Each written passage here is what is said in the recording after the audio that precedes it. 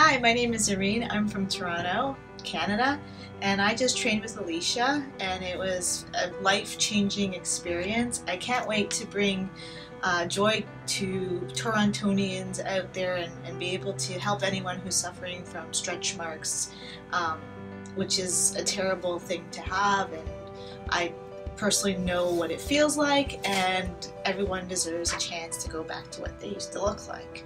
So, thanks, Alicia, for the training. I really enjoyed it, and I feel confident and happy to take it back to Toronto with me.